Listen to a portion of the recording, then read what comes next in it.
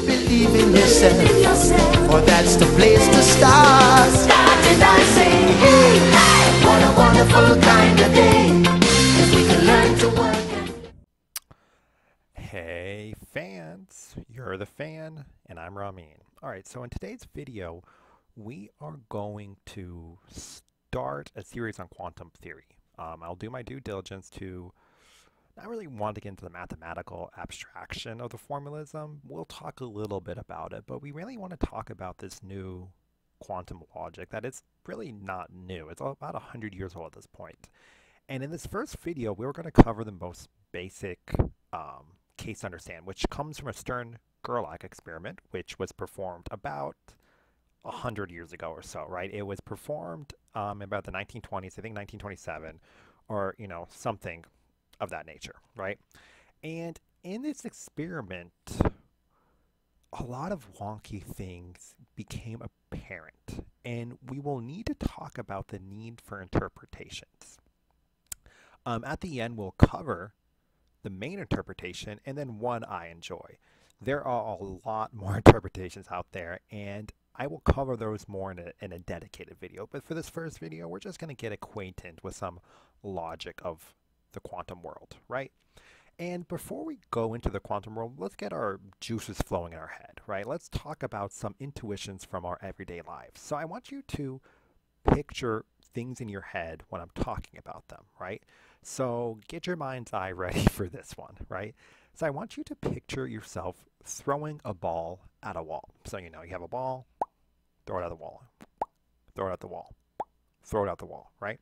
And if you do this, you will notice that okay, the ball sometimes goes up here, the ball sometimes goes down here, the ball goes down down here. And if you recorded it, you would say, okay, cool. I get a lot of different things depending on how hard I throw the ball, this or that, right? Lucky for us, this is um, known, right? You can actually determine exactly where the ball will go if you have enough information about this. This is known as a deterministic theory, right? Because if I have enough information about how I throw the ball, I can determine exactly where it will go. So we call this determinism, or we would classify the ball throwing as a deterministic theory. Okay, great. Not too hard, right? You, you, you could even go out there and perform this experiment if you wanted to. You would see that, cool, I can throw it. We're not going to talk about the math of it, but just know this is a complete theory. Okay. So now let's turn our attention to what I have in front of us, right? If you look over here, I have a, a weird looking experiment, right? Um, we have something with two things. One arrow is pointing up, one arrow is pointing down. We have some measurement to the side, right? This is what the Stern-Gerlach experiment setup is, right?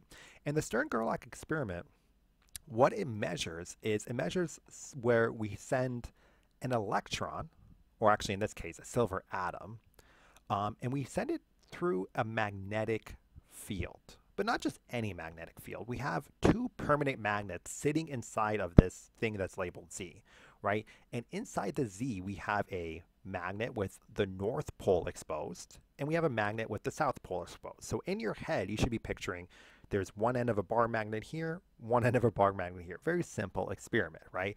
Um, of course, if you actually performed it in the real world, you have to heat up your silver atoms, which is what that thing on the left side of the Z is. It's it's an oven. It heats up your atom. Then you have to like specify exactly how your beam is going to get shot through there, which is known as a collimator, because you're limiting the range of these uh, this gas's state going out, etc. Right? But we're not actually need to perform it because thanks to the physics department at Oregon State University, they devised a computational experiment, right? But just know, just know, you can go in the lab and do this yourself, right? And you probably should. If you're like getting into more experimental side of physics, you probably should go do this. But um, I digress, right? So let's talk about the weirdness of this, right? Unlike the ball throwing experiment, we only ever get two results. That's kind of crazy, right? We only get two results. And not only do we only get what that literally means is think back to your ball throwing thing, right? We're saying that as the atoms move through this thing, right, they never go straight down the middle, right? There's never a chance of it going straight down the middle. It always gets deflected up or down, which is okay, Rami, that's obvious, right? It's a magnet, right? It's going to influence the atom. It's going to go up or down. But the crazier thing about it is it only hits in two exact places every single time. Every single time. So let's run the experiment, right? So I'm going to go ahead and run this, the first uh, Stern-Gerlach experiment. And lucky for us, we don't actually have to turn on an atom. We don't have to like limit our beams. We don't have to set up the experiment. We can just hit go, right? So let's let it run for a little bit. And cool. We have 397 of the atoms got deflected up and 372 of them got deflected down. And so that's pretty interesting, right? It's basically a 50-50 split, as if you were flipping a coin, right? If you flip a coin enough times, you will get a 50-50 distribution, right? And we're seeing the exact same thing here. It's very interesting, right? And it's very weird, right? First off, we're only getting two results when in the real world, we're getting a huge range of where it's going to hit on the wall. But not only do we get a huge range of where it's going to hit on the wall, we know that if I have enough information about how fast you're throwing the ball, if there's wind, if there's this, if there's that, right? If you have enough information about it, you can determine exactly where it will land. And so you might apply the same logic here, right? You say, okay, the two results is still wonky, right? It's still wonky, but maybe maybe it's just because we're ignorant. Maybe it's just because we're ignorant to all the information that's known to the system. Maybe if I knew just a little bit more, a little bit more, I could figure out exactly um, how to determine its path, right? And this is known as hidden variable models because of that very aspect. It's like there must be something hidden that we just don't know, right? Um, we will cover this in a later video, but hidden variable models have been ruled out due to a very, very smart guy by the name of John Bell. And he devised these theorems called the Bell theorems, which lead to the Bell inequalities, which talk about how you can't have hidden variable theories that can determine this. But I digress. That's for a later video. I'm just giving you a little sprinkling of, you know, actual truth. So we go ahead and we say, cool, maybe, maybe it's just ignorance, right? So let's do a new experiment, right? Let's do a new experiment where I only, I'm only going to take one. I'm only going to take one of, I'm only going to take one of the results, right? So instead of going here, right? Instead of going up to this analyzer here, I'm going to introduce a new analyzer, right? And I'm going to change it. So instead of saying it's on Z, I'm going to change it to a new place, and I'm going to change it to, um, we're going to say X, okay? So what this means, if you're thinking about this, I, like I said, I don't want to talk too much about the math, but essentially what this is, is this Z means we're measuring it on the Z axis, right? This X means we're going to be measuring it on the X axis, right? So just pick an axis in your head, look at the wall, you say up or down a Z, it's just on a different axis, right? And so if you look closely, what we're doing here is we're doing that exact concept. We're saying, cool. Well, now, now I do know it's spin up, right? So before you can you can plead ignorance. So, oh, you can't know before you measure. That's stupid. I mean, you got you got to measure to know if it's going to be spin up or spin down, right? You got to measure. You got to measure. Cool. I agree, right? Let's let's let's plead ignorance. So now let's run it again, right? So we're only going to be taking the spin up part, So the ones atoms that get deflected up, we're only going to take them, and let's rerun this experiment. Uh, wait a second. Whoa what is that I'm seeing on the x-axis? I'm getting a another 50-50 split? That's wild, right? So it's almost as if knowing that it was spin up prior didn't matter in this new measurement. That is super wonky, right? And so let's do some more experiments. Like this is this is getting very very wonky, right? So now we're almost seeing as if it doesn't matter. It doesn't matter if I knew the prior results, right? It's almost as interactions change, right? It's almost as if in the interaction with my new detector changed what was known, right? So knowing that it was spin up told me nothing about where we'll go in a new area. But even wonkier, even even it's gonna get even wonkier, right? What we're gonna do next is let's do a new experiment, right? And let's say, okay, Romin, you got me there, right? You got me there. This new logic's a little bit wonky. Um, but I guarantee if we sent it back to the same axis, back to the z, only taking spin up, we're gonna get spin bot back. So let's let's let's do the default experiment once again, right? And um, we're going to have two detectors. So we're going to send it through the x-axis again, right? Um, and then we're going to send it back to the z. And let's see what happens here, right? So do do do, we're going through the x. Do do do, we're going to send you over here. And let's see the results we get. Okay, so once again, we know on the z-axis it measures spin up. We're only taking those ones. On the x-axis, we're doing the same thing. We're only going to take spin up, right? And so to prove that to you, we will get the results down here, right? So we'll say, cool, I want to record the results that'll get spin down. And let's see what happens. Let's see what happens here. Whoops. Will this move? Okay, cool. Let's see what happens here. So let's run this experiment. And let's stop it here. Let's stop it here right? And if you might have been noticing the ratios, by the way, right? This is still 50-50, so half the results still go spin down. A quarter of them go spin down here, and then we get an eighth of them being spin up and spin down. Pretty wonky, right? Um, well, actually, I, I, I shouldn't say those exact distributions. I would have to like look at it. I, my intuition says that, but who cares at this point, right? But the wildest thing is just that. The interaction changed the orientation of the actual electron every single time, right? We took only spin up electrons. We sent it back to the same axis. And wonky enough, it wasn't spin up again. We got the same distribution. So these electrons that had the option of being deflected up or down, right? If there were predetermined information about it, would have been shown here right? If there was something predetermined about this electron, it would always be spin up in this last case, right? Interaction shouldn't matter. You told me that on the first interaction, the first detector spin up, why is it not spin up again? It's weird, right? And this last experiment is probably, I think, the coolest one, but it's also one of the more wonkier ones if you take one of the main interpretations. So let's rerun this experiment. But in this time, instead of just taking the spin up from the x-axis, let's take both, right? Let's send both beans back to the first axis, right? And you'll see something pretty wonky happen there now. So cool, we're to set this up again. Do do, we'll call this x. Do do, we'll call this z. If I could bring it down, here we go, right? So we say, cool, I send you to here. If I can link them up and I send you over there, and I'll get a new bar. Because remember, we only need two bars. We only need two results, right? Because we're sending you both of these results. So we're, we're going to be deflecting both of the beams back to the original detector or the z-axis, right? If I could, I would rewire them back, but you know this app wouldn't allow me to do that. So let's go ahead and combine our counters now. So you ready for this? Let's go. And isn't that super interesting? Right? It's almost as if each spin, each direction has unique information associated with it, right?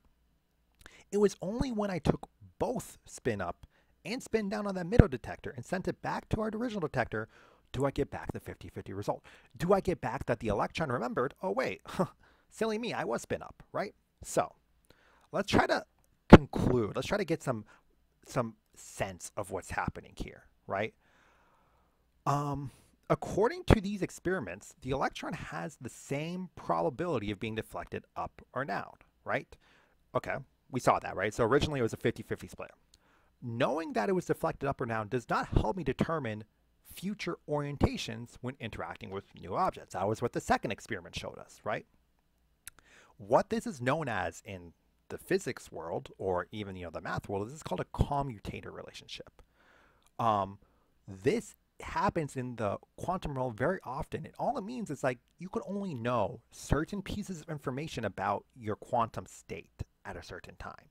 And quantum state is just the abstraction of what we just learned, right? So we're talking about electron spin, that is a type of quantum state. So you abstract this to, because there's many things you can measure, right? It's not just electron spin being up or down. You can measure where is the electron, how fast the electron moving, et cetera, et cetera, right? And we'll talk about what those are called. Those are known as observables. So we'll talk about observables in a later video. But for now, we'll call them quantum states, call them observables, call them what you want, right?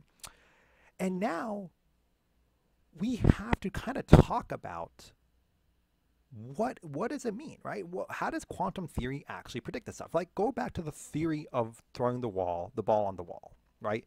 We know that's a deterministic theory, but it's almost as if quantum mechanics is not deterministic, right? There is nothing I can do to determine what is going to be the next result, right? And so in the quantum world, in order to get the correct results, we have to assume two things, right? Um, the first one is something known as Born's rule, right? And this is just a mathematical thing you have to assume, and it has to deal with how you weigh your probabilities. So like in this case, because it was a one half, one half, we would write this as one over the square root of two, and we would put them on both spin up and spin down. So we would say, cool, according to Born's rule, we weigh them based off of the results we see, right? The second one, which we will discuss in a little more detail, is the concept of superposition, right? And you might have heard this concept before because it does pop up in electromagnetism very often, and it has to do with how things, which we call vectors, add up, right? And so if you have these fields, you can actually add the contribution of both fields at a certain point, and it's just the sum of the fields at that point, right? That's known as superposition, right? Um, and we say mathematically that these states are in that superposition at that point of measurement before we took the measurement. It's almost as if they both occupy the same position, right? And I like to say in a different way. I like to say they have the same urgency. So a superposition in the quantum world means they have the same urgency. Both are just, and in, just in this example, right? Um, just in the electron spin case, you will see they, there are other stuff in the quantum world where some things have like a two-third probability versus a one-third probability. You can start looking at like decays of unstable nuclei and things like that. They have different probability results, which means they have different weighings, which means it's not always 50-50, right? We picked this experiment because of the easy way to digest it. 50 50, easy to digest. So they both have the same urgency. So let's pause here. That's all math, right? And this is why a lot of physicists, by the way, get confused, in my opinion, right? A lot of them like to say that math is physical, right? I don't like to say that. I don't agree with that because we can try a better way of examining these things physically. So let's go ahead and do that, right? What does this superposition stuff really mean physically, right? Is there some type, like I said, we can't, we, we aren't going to talk about hidden variables, by the way. Um, as much as when I was younger, I loved hidden variables, right? But we can't really talk about them if you take John Bell's experiments seriously. We have to ignore them. So, so we have to find a way to interpret these results. Okay, so um, let's just repeat once again what is here because it, it, it, bears repeating because it is very wonky, right? We saw that electrons have no meaning prior to an interaction. Even once they interact with that detector, it has no bearing on future interactions. Mathematically, we have this wonky superposition concept, but we must ask some kind of philosophical questions here, right? You tell me it's in a superposition, Romin, but uh, why don't I ever see it in one? Why do I only ever see it spin up or spin down? You're telling me that mathematically and and and, talk, and I'm not even talking to myself right now. I'm talking to you know those physicists who may see this video that want to justify, oh, math, math is reality, blah, blah, blah. But why do I never see your math in reality, right? You're telling me it's in superposition, but how convenient, right? How convenient that I can never measure this superposition, right? But even worse, guys, even worse is the people that kind of came up with these theories came up with a very easy way out. And it came from mainly from this school of Copenhagen, right? And the interpretation is called that. It's called the Copenhagen interpretation. And this, this is truly the most standard way physicists do it. And basically, what they say is uh, stop asking. Your calculations get the correct results. The formalism works.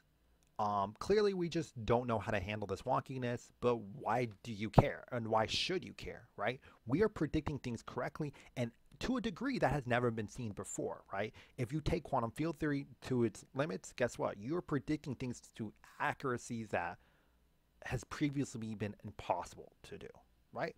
So using the quantum formalism, I'm getting, I'm calculating the correct probabilities. My experiments are seeing exactly what I'm calculating. So you, all you need to do, and this is a famous saying in physics, is shut up and calculate, right? Shut up. Stop talking about all this stupid superposition jargon into mathematical formalism. Um, and that's why a lot of physicists, like I said, they get lost in the sauce, right? They, they truly believe that the math is the physical reality, right?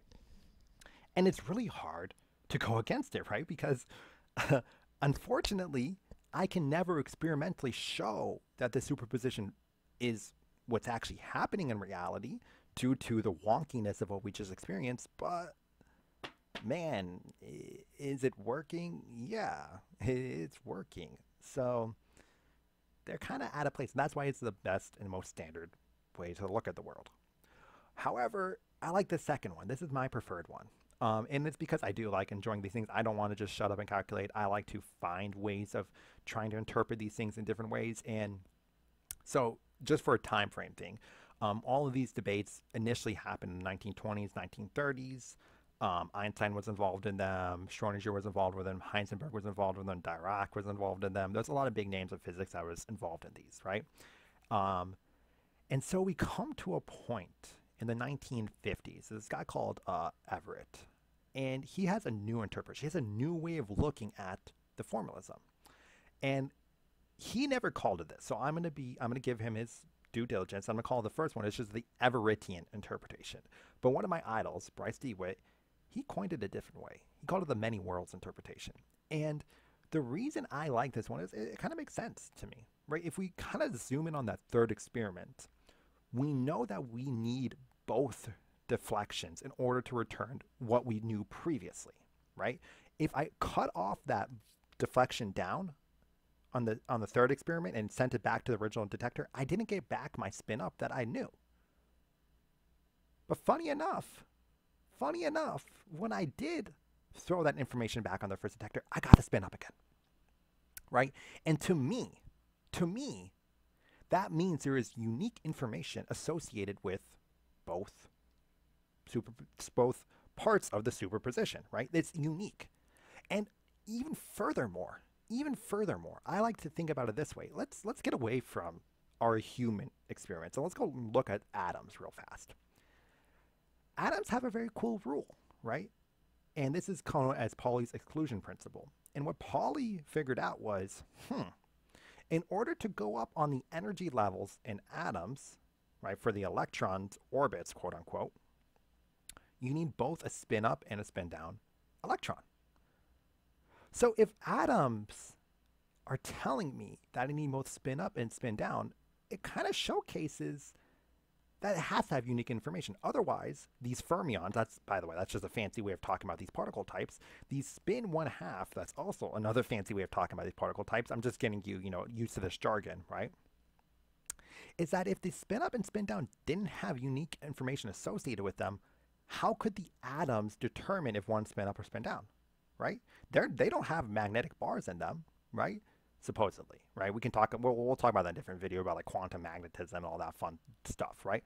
But for right now, we're going to take it as they don't have bar magnets there, right? So atoms see something different between spin up and spin down. The third experiment saw something unique with spin up and spin down. There has to be some type of information that's unique to both spin up and spin down right? If you take the superposition thing seriously, that's kind of what it says as well, right?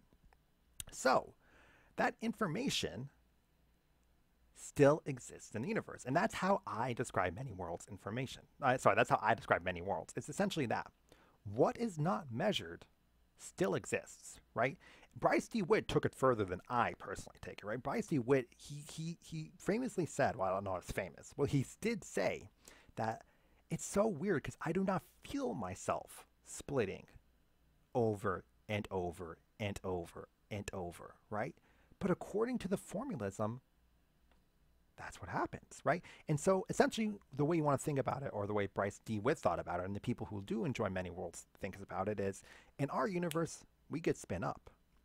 but branches off into a new universe that's spin down information, right? Because it didn't measure in our universe, means it's gone. We can't interact with it anymore, so it goes off into its own universe. And that's why it's called many worlds interpretation, right? And it makes the most sense to me, right? There, I, I really believe there has to be unique information associated with every type of superposition in the quantum realm. And that kind of concludes, I think that's a pretty good stopping point. Um, that concludes this episode. Uh, I think in the next one, I'll talk about quantum entanglement. Very fun concept. Um, and we, and just know that I don't take the shut up and calculate thing. So we will get some philosophical stuff going and hopefully you enjoyed it, right? And if you did enjoy this video, give me some money, right? if you're rich, right? If you're poor or you're, you're a student, please, please, for the love of God, save your money. You don't want to end up poor like me, right? So save your money, um, invest, do some stuff if you're still poor. But if you have some money to throw around, hey, give me some money. I'm poor. Uh, I'm a poor graduate student. Um, lost my funding, so that's why I'm making these videos. So hopefully you enjoy. And like I said, in the next episode, we will be talking about quantum entanglement. And probably after that, we'll be talking about observables and we'll get into a little more meaty quantum stuff. Um, so with that being said, have a good rest of your day or night or week or whenever I upload. I'm trying to upload. I'll try. I'll try to upload almost daily, right? I'll try to just churn out these videos because it's, it's fresh on my mind. I love this stuff. Um, and hopefully makes sense to you. All right. Peace out.